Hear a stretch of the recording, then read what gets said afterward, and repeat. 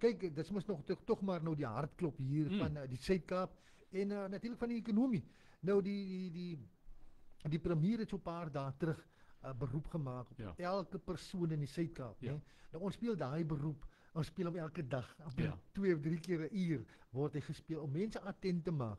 En hier kom u vandag uh, voorsitter hier van die AI in die Weskaap en u maak 'n dringende besoek op elke besigheid om seker te maak een baie eenvoudige ding maak net seker jou werkgewer en en hoe beter is dit as ek nou na u kyk dat u aangestap kom die masker is aan ten alle tye Ja, weet jy Sebastian en wat kommerwekkend is in die tweede fase gaan ons nou praat oor die oor die gemeenskap. Uh, ons gemeenskap moet ook saam staan.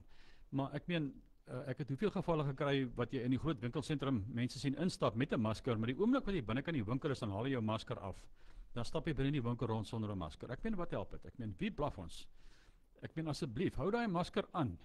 Hou hom absoluut aan. Uh, ek meen daar's geen rede hoekom jy moet afhaal nie. Ek weet dis 'n moeilike onsmaaklike ding. Jy haal moeilik asem.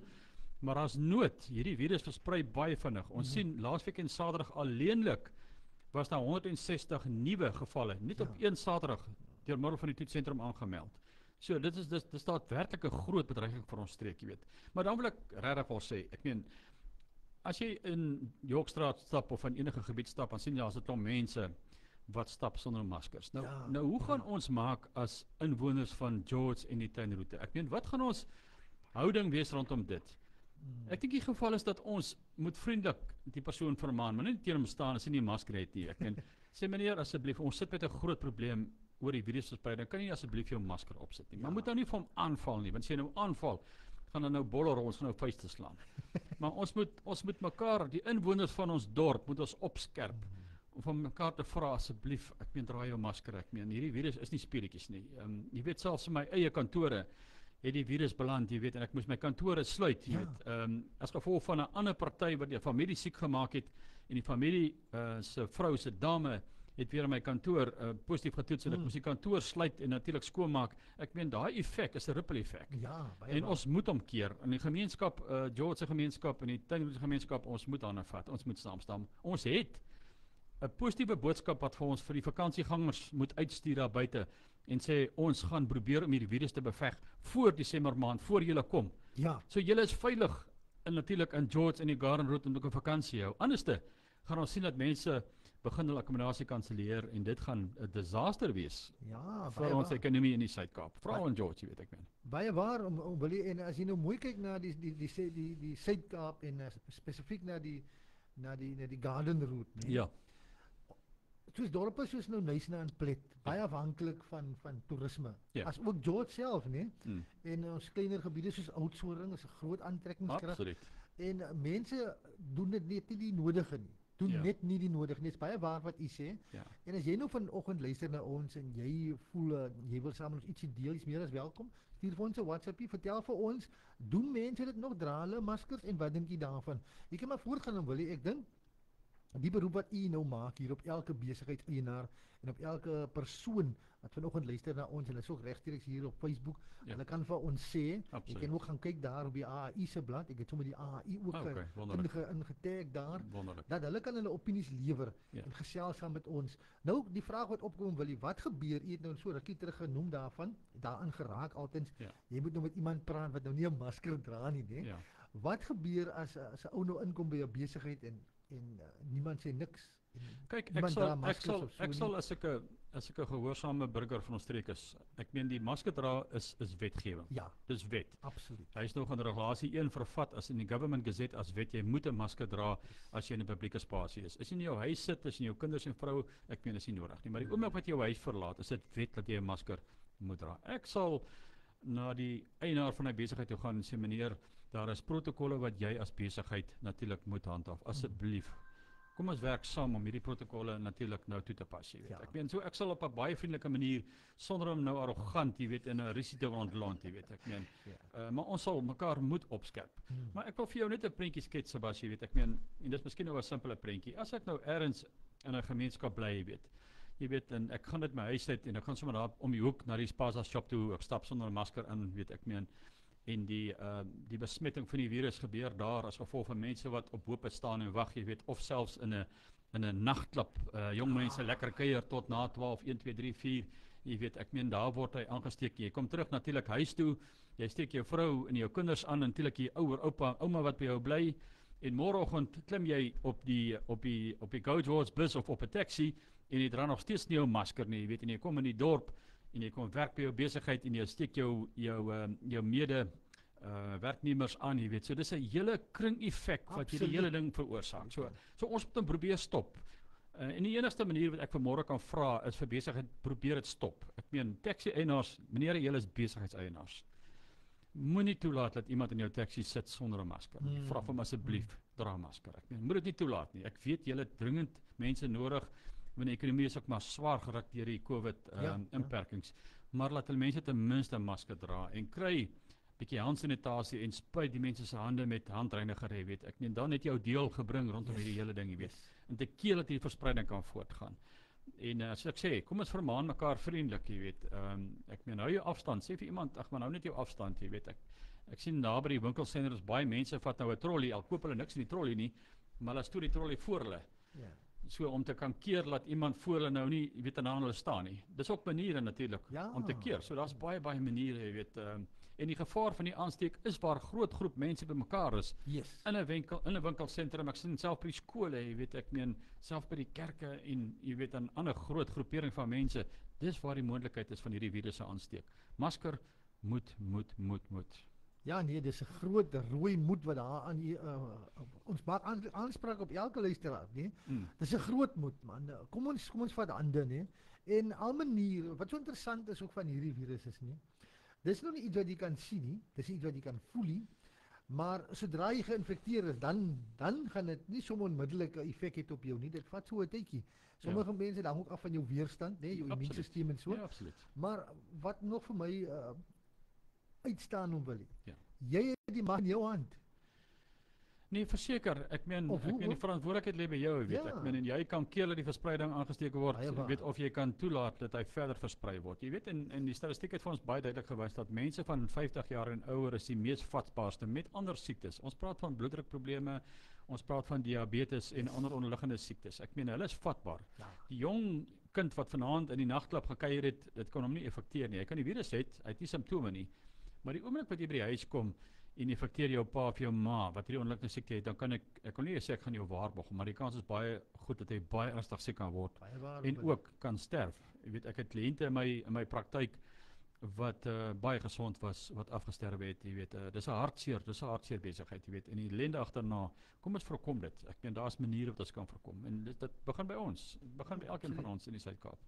Dan ons het ook 'n ding hier wat ons uh woordvoerder Nadia Ferreira ons kry daagliks van haar ja. die COVID-19 getalle nee ja. en dan eh, deel ons dit saam met die mense ja. en daar is natuurlik ook die feit dat dit dit dit klim wil dit klim ja. maar ek dink ook elke ouer moet saam moet in sy huis begin of hoe sê hom wil elke persoon moet by sy huis begin Weet jy ek ek wil met jou saamstem en ja. ek wil die prentjie vir jou kry. Ek meen ek sien dit baie gemeenskappe jy ja. sien ouers vat verantwoordelikheid.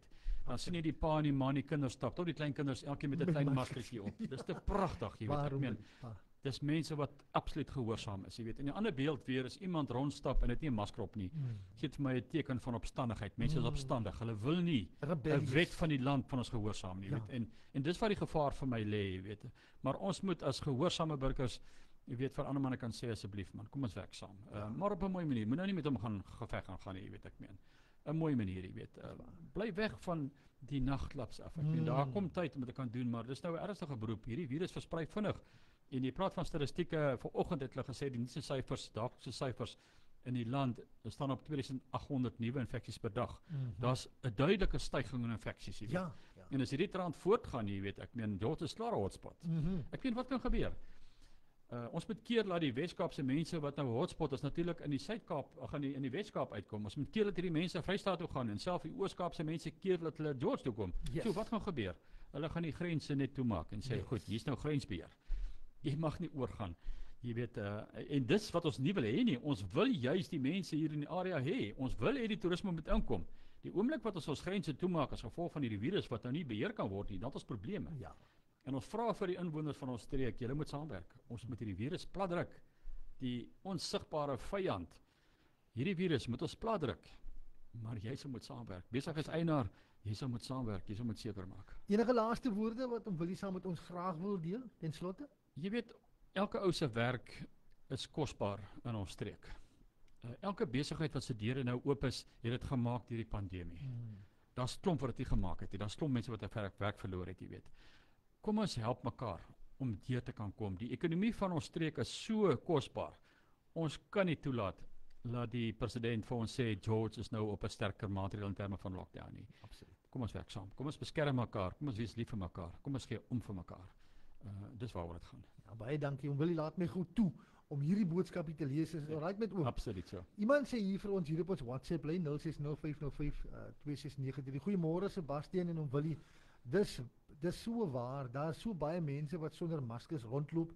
Kan nie die kan die wetstoepassers nie ingryp nie en hulle beboet nie. Dis nou Victor hier in Mosselbaai. Dis 'n goeie benadering daai. Nee, dis absoluut waar en ek het ook 'n verklaring gesien wat die wat die generaal Reddy, uh, die polisie bevelvoerder 'n paar dae terug uitgemaak het, jy weet, en sê hulle grootste ding is maar hoe beheer ons hierdie goed, jy weet. Ek meen nou, die polisie is maar net so vir mense, jy weet. En ek weet van gevalle waar uh, mense sonder 'n masker beboet was, jy weet, in die oomblik wat die verkeersman of die uh, polisieman sy rug draai, dan vrommel die man die boete op en hy gooi op die grond, jy weet. Mm. Dis mense se houding, dis mense se attitude.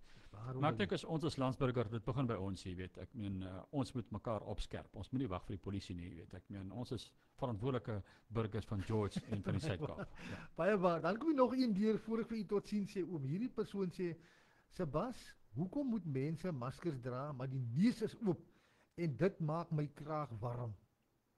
Wat sê jy daarvan? Ek het wat is oop sê, ekskuus tog? Hulle sê uh, hoekom moet mense 'n masker dra? Ja. Maar die neus is oop en dit maak hierdie persoon se kraag warm. As jy met die masker loop, maar die neus is oop as net die. Nee, ek meen ons moet maar nie blaf nie, weet ek Mm. meen. Jy jy het gesien net my oë uitgesteek vanmôre. ek meen onthou jou neus asem dit ja, in. Ja, is waar. Is iemand ja. langs jou nie sonder 'n masker jy jy, jy asem dit met jou neus in, jy weet ek. Met die mond toe te maak keer jy net as jy praat om die virus te versprei, maar jy kan hom steeds ontvang. Ja. En die luisteraar is absoluut absoluut reg. Hy moet jou neus en jou mond toe maak en ek wil amper sê hy moet jou oop toe maak. as jy nie mooi kan sien nie, jy weet, ek meen ehm um, absoluut maak seker, ehm um, moenie sonder 'n masker in die openbaar wees nie, jy weet. Ehm um, ja. Nou ja, baie dankie om Willie. Dit is altyd lekker om saam met te gesels.